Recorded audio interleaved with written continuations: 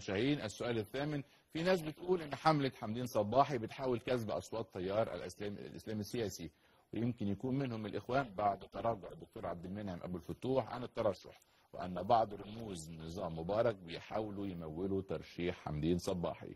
تعليقك. أعتقد إن بعض رموز فساد نظام مبارك يحاولوا تمويل حملات المشير عبد الفتاح السيسي وإجباره وإخضاعه للترشح للانتخابات الرئاسية وتوريطه في هذه المعركة من وجهة نظري الشخصية.